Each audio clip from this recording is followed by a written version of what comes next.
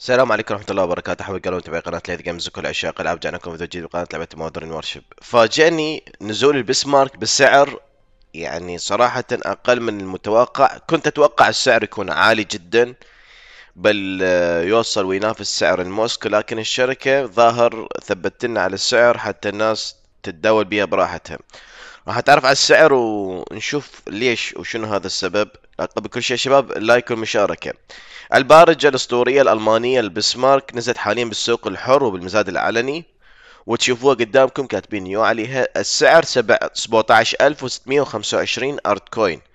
السعر موحد. أنت إذا تريد تبيع القطعة بأي سعر تحطها يحط لك إياها السعر نفسه. يعني على سبيل المثال أنت عرضتها ب 30000 راح الشركة تنزله من يمها تسوي 17625 رضيت؟ ما رضيت.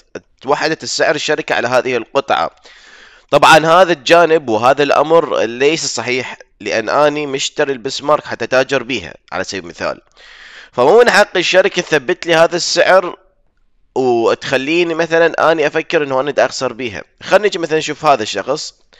هذا حاط صواريخ سكالب وحاط راجمة الحدث آه، الصيني وحاط جاربون وإكسكاليبر وحاط آه، كذلك آه، مروحية الحدث ال 124 وقال لك أنا تعبان عليها. وحاط لها سكن وما أدري وليش أنت تعطيني السعر هذا 17600 خلينا نجي على شخص آخر. هذا تشكيلة حاط لها تعبانة. هذا أيضا تشكيلة تعبانة. أريد واحد تشكيلته قويه مثلا. هذا هم تشكيلة عاوية. هذا مخربها. هذا ماكو شيء هنا. هنا أنا على سبيل المثال. صديقنا هنا إيش حاط؟ عفوا حاط Type 40 أفضل صواريخ الشدات وافضل مروحية بالشدات حاط. وحاط سيجما يا شباب أو عفوا Oerlikon Oerlikon وحاط آه، Crotale mix صواريخ وحاط راجمة ال level 15 تشكيلة لا بأس بها أيضا تعبان بهذا التشكيلة حاطين skin يعمل عيون. ممكن الناس هنا تحط تشكيلات حتى تتاجر بسعر أعلى من المتوقع. هنا صديقنا حاط هاي كور حاط راجمة حدث الهالوين حاط آه، Crotale Excalibur وحاط مروحية الحدث السابق وحاط لها skin الرادار. ما يصير؟ وصراحة مو من حق الشركة تثبت سعر على للناس. يعني أنت هذه القطعة يعني مفروض اللعب واحد قوية معترفين بها قوية وما نقدر نقول عليها مقابل هي من أفضل البارجات وأقواها. الناس تحب التاجر بشكل صح. يعني أنت هنا حشرتني آه على سعر أنا ما راضي بيه. على 17600 زين وبالشركه منزل عرض ب 20000 art coin هسه حتى 20000 أنت ما خليتني إياها. حتى 20000 ما أعطيتني سعرها 20000 اذا ظل الوضع هيك يصير حالة حال JS Yamato 11000 هنا ايزاكوف 11990 لارين 13800 يعني القطع العملاقة باللعبة يعني جاي تنتهي الأسعار مالتن صراحة. الهامشر وين؟ أعطوني اياه الهامشر خليني أشوف جيد الهامشر والله.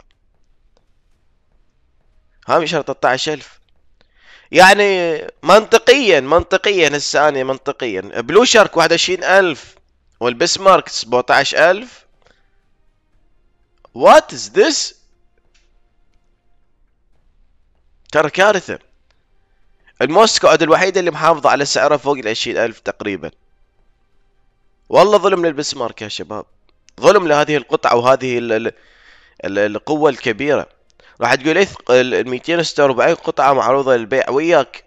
بس أنت حدد لي 20000 مثل العرض 20000 مثل العرض الموجود اللي أنت جايب الدازة بفلوس حتى أقول لك صحيح. مو تكسر لي بالسفينة. زين أنا أبيعها ب 17600 حلو؟ أريد أشتري قطعة ثانية بدالها أقوى من عندها. راح أخسر فلوس. راح أفكر أروح لموسكو وراح أخسر فلوس. رغم إني أشوف البسمارك اقوى من الموسكو. طبعا يبقى رأيي الخاص هذا. ممكن الناس تعترض عليه. بعض الناس تقول لي ايزاكوف أقوى. 11900 بس مشكلة بدنها. فالنظام وال system للأسف التحديد مو صحيح. يعني أنت حاط لي أرسنال 250 ألف. ايليا شو سببها قلنا دعم للشركة نزل الساعات سويها 20 في 30 خلي الناس تشتريها. كلبت بالسعر هذا. والله كارثة يا شباب. يعني أتوقع على هيك على هيك نمط وهاي القطع هاي تنزل مثلا الموسم القادم اللي هي البانستبل ممكن تنزل لك 15000 12000 حتى 10000 توصل لك على الوضع هذا. فللأمانة هذا التحديد مو صحيح هذا التحديد مزعج هذا التحديد آه، ما يخلي اللاعب ياخذ راحته بالتداول. حفاظا على توازن السوق هنا جاي تخلي الناس تتردد بشكل كبير بالشراء والبيع. بل تجعل الناس تكره شيء تشتريه بسعر غالي من وراك أنت كمطور للعبة.